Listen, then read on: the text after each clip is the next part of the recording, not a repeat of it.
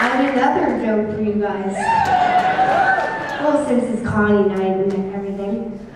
Um, what is the most musical part of your body?